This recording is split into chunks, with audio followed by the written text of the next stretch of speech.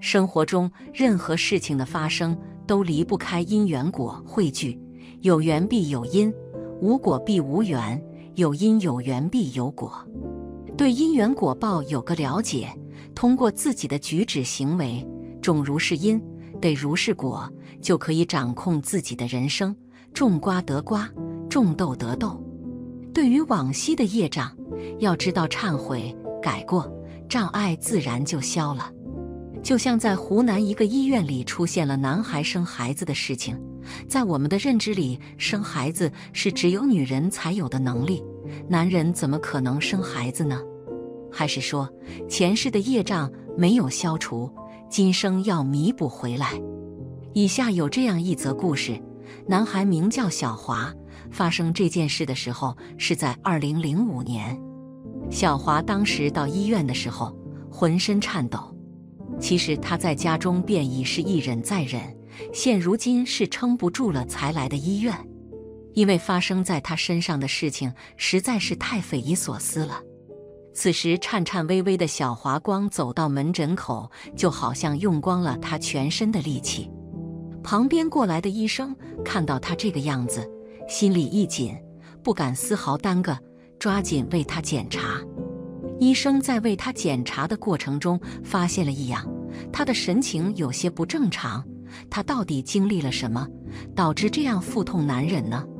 与同龄人不同的是，小华的眼里缺少了十六岁少年那样的朝气活力，他的眼神里充斥着排斥和无情，是那种对任何人都冰冷的目光。他的脸上的神情，除了腹痛带来的痛苦。还充满了孤僻，给人一种好似要将全世界推开的感觉。医者仁心，看到小华这样的神情，医生只好尽力安抚：“没事的，我们是医生，你不用担心，我们一定给你好好检查，尽全力为你治疗，你不久就会没事的。”在医生的劝说下，小华稍稍放松了戒心。因为小华说自己肚子疼痛，医生为了确认状况，准备为他检查腹部。在小华的同意下，医生掀开了小华肥大的衣服。在这掀开的一瞬间，眼前的景象让在场的医生目瞪口呆。医生在掀开小华衣服的一瞬间，映入眼帘的是与小华身形和年龄不符的巨大的肚子。在医生看来，只有怀孕七到八个月的妇女才会有这样的肚子呀，这明显超出了正常人的认知范围。医生因为第一次看到这样的场景，脸色露出了惊诧的表情。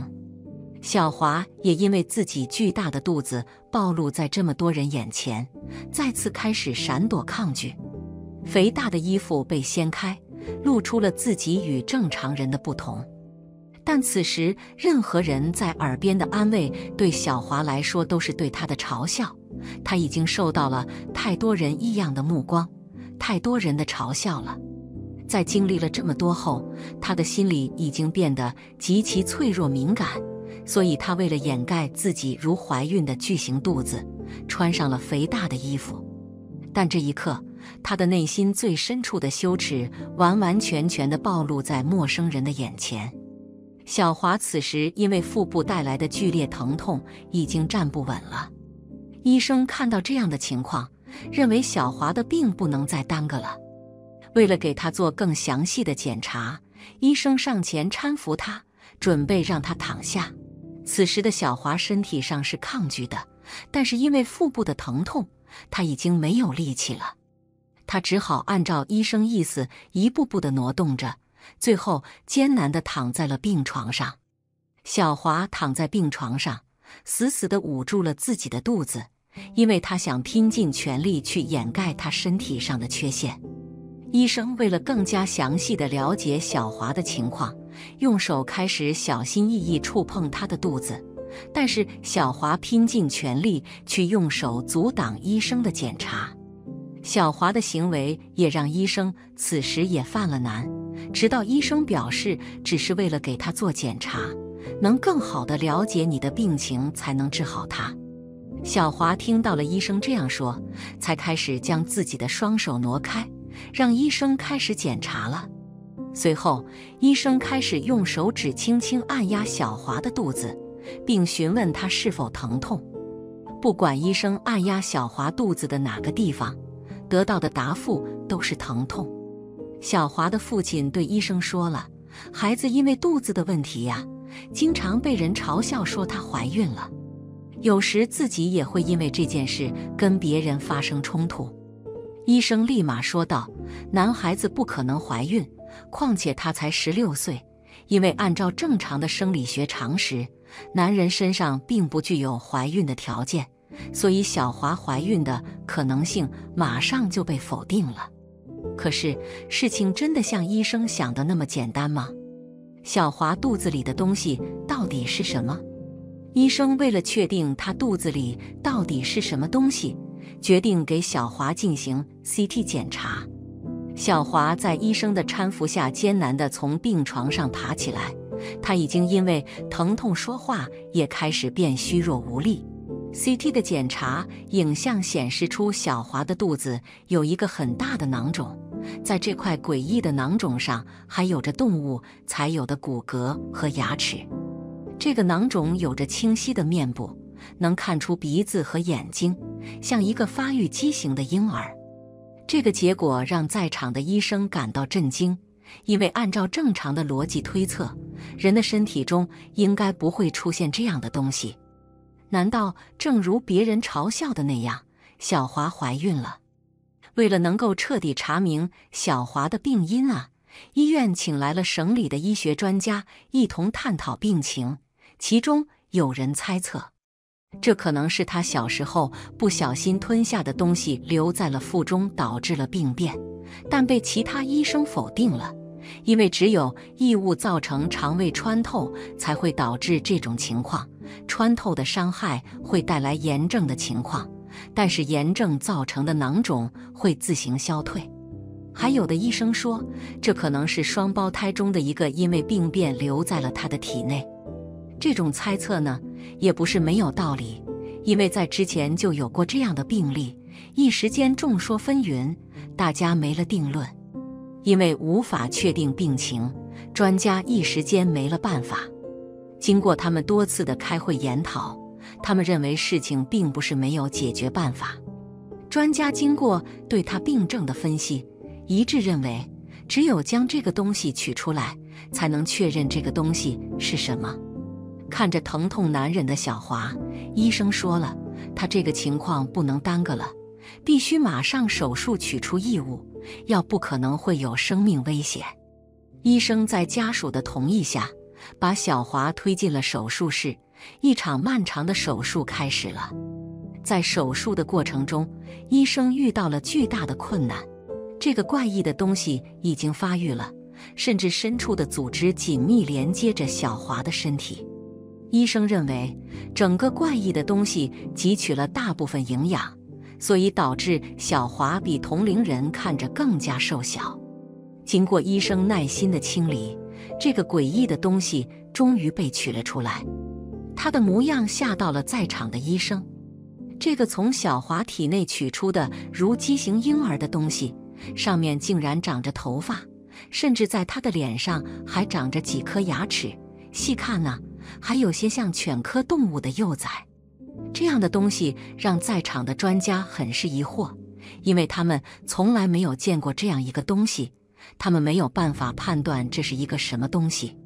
虽说男子怀孕的可能几乎为零，但他们确确实实从小华的身体中取出了一个婴儿。专家们仔细地观察了这个形似畸形婴儿的东西，医生查阅了很多相关资料。之后，医生通过检查，终于给出了结论：这个形似婴儿的东西其实是畸胎瘤。经过医生的努力和小华父亲的照顾，没过多久，小华就康复了。经过这件事，小华也学会了积极向上、勇敢向前的面对生活。每个人来人间走一遭，都是来历劫的，有劫才能有痛苦。痛苦的种种会启动我们去有探究苦和想离苦的究竟的动力，但是很多人都是在痛苦中迷茫，殊不知，每个人的一生都是来历劫的，不是来享受的。有苦才会有离苦的可能，所以世间的所遇真的没有什么好与不好的分别。有时候遇到挫折，感觉痛苦，对于我们来说，真的会是件有意义的事，因为这不会让我们惶惶终日之后面对死亡的大现实。彻在生活中，我们时常会用到“十八层地狱”这个词，可是你知道吗？佛教中的十八层地狱，并不是我们想象的那么简单。阎王为地狱之首，属下的十八位判官分别主管十八层地狱，所以拔舌地狱是由阎王掌管的。十殿阎王在《西游记》中，孙悟空因为老猴死去，伤心之下大闯地府，最后逼得十殿阎王出来迎接。而十殿阎罗也讲得十分明白。十八层地狱是由他们一起掌管的。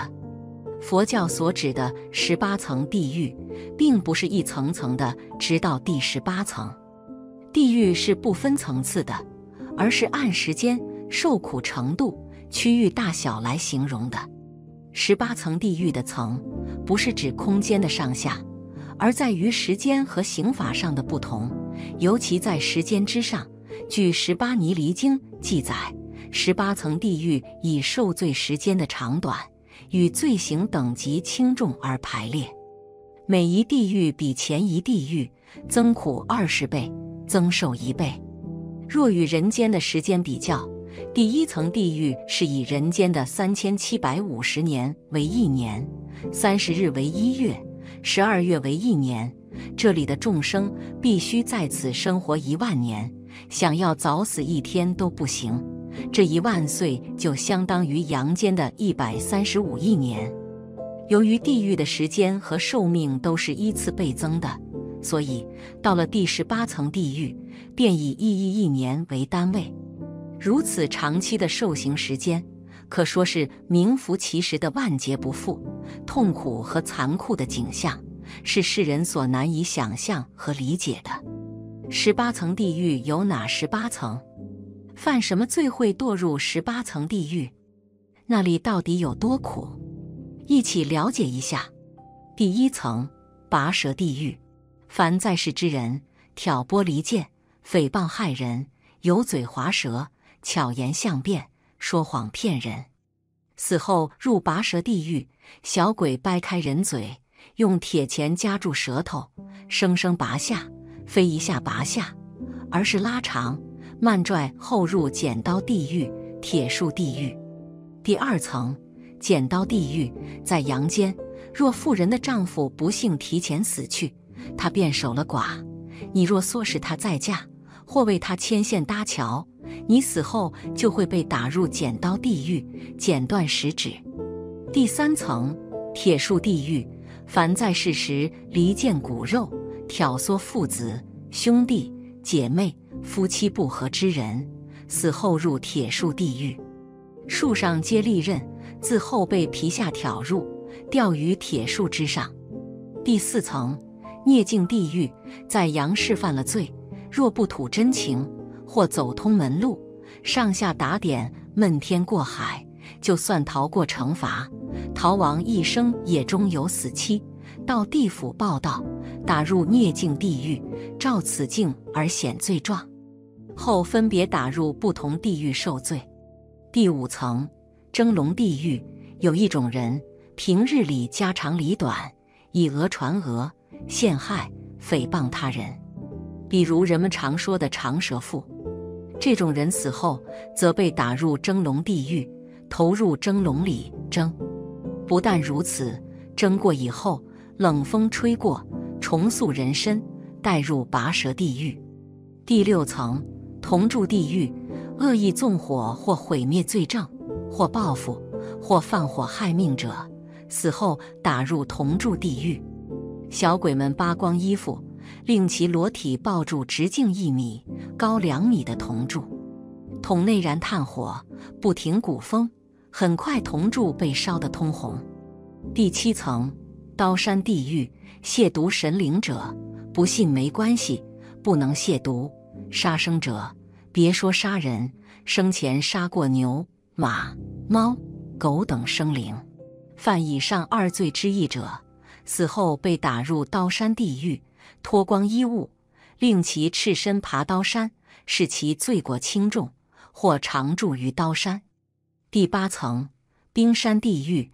凡谋害亲夫、与人通奸、恶意堕胎的之妇，死后打入冰山地狱，令其脱光衣服、裸体爬冰山；还有赌博成性、不孝敬父母、不仁不义之人，令其裸体爬冰山。第九层，油锅地狱，卖淫嫖娼、盗贼抢劫、欺善凌弱、拐骗妇女儿童、诬告诽谤他人。谋占他人财产、欺世之人，死后打入油锅地狱，剥光衣服投入热油锅内翻炸。有时罪孽深重之人，刚从冰山地狱里出来，又被小鬼押送到油锅地狱，此为上九层，即东地狱。水陆全图中的下九层的西地狱，则更为残酷。第十层，牛坑地狱。这一层是为畜生伸冤的地狱，凡在世之人随意诛杀牲畜，把自己的快乐建立在他们的痛苦之上，那么死后打入牛坑地狱。坑中数只野牛袭来，脚顶体彩据记载。与之相反的还有名为刀船地狱，位在此十八层之列。第十一层石压地狱，在世之人产下一婴儿。无论是何原因，如婴儿天生呆傻、残疾，或因重男轻女等，将婴儿溺死或抛弃，此种人死后打入石压地狱。为一方形大石池槽，上用绳索吊一与之大小相同的巨石，将人放入池中，用斧砍断绳索。第十二层冲就地狱，此狱颇为稀奇。就是人在世时，如果你浪费粮食、糟蹋五谷，比如说吃剩的酒席随意倒掉，或是不喜欢吃的东西吃两口就扔掉，死后将打入冲臼地狱，放入臼内冲杀。稀奇的是，如果你吃饭的时候说话，特别是脏话、秽语、骂街，死后同样打入冲臼地狱受罪。所以吃饭的时最好不要说话，特别是骂街。第十三层血池地狱，凡不尊敬他人、不孝敬父母、不正直、歪门邪道之人，死后将入血池地狱，投入血池中受苦。第十四层枉死地狱，所谓人身难得，如果不珍惜，去自杀，如割脉死、服毒死、上吊死等人。死后入枉死牢狱，再也别想为人。故劝诫在世之人，即使遭遇再大的困难，也要顽强地活下去。自杀是懦弱的表现，特别是那些殉情的年轻人。第十五层折刑地狱，现在不多见了，不过此罪过很大，即挖坟掘墓之人，死后将被打入折刑地狱，处折。这是一种酷刑，把肢体分裂。第十六层火山地狱这一层比较广泛，损公肥私、行贿受贿、偷鸡摸狗、抢劫钱财、放火之人，死后将被打入火山地狱，被赶入火山之中活烧而不死。另外还有犯戒的和尚、道士等出家人，也被赶入火山之中。这层现在应该是人满为患了。第十七层石磨地狱，糟蹋五谷、贼人、小偷、贪官污、欺压百姓之人，死后将被打入石磨地狱，磨成肉酱，且不断重塑人身，然后再磨。另外，吃荤的和尚、道士同入此狱。第十八层刀具地狱，偷工减料、欺上瞒下。拐诱妇女儿童、买卖不公之人，死后将被打入刀具地狱。衣服扒光后，呈大字形捆绑于四根木桩之上，自裆部至头部，用具俱毙。有的人怕下地狱，你仔细想想，不造地狱的因下，什么地狱？只要从此不再怨恨别人，不再嫉妒别人，不再多愁善感，不再害人，不再自私自利，怎么会下地狱呢？害怕什么就招来什么，害怕就有鬼，疑心魔所摄。死亡只是换一件衣服而已，贪心吝啬厉害的，换成鬼道的衣服；好生气的，换成地狱的衣服，到地狱受罪去了。满脑子邪见，天天不知为啥活着，吃完睡，睡完吃的，换成畜生道的衣服，过畜生生活去了。能够孝敬父母，持五戒，修持善业，做到中品的，又换成人的衣服，继续做人。修持善业修得好的，又修四无量心的，有一定的定慧功夫，能够投胎到天上，享受的福报多一些。但还是轮回，等到他的福报享受到头了，又该轮回了。所以趁我们现在得到人身，就得赶紧积累成佛的因，得成佛的果。本期的视频就到这里，感谢大家的观看。如果您喜欢这个视频，记得点击订阅，我们下期再见。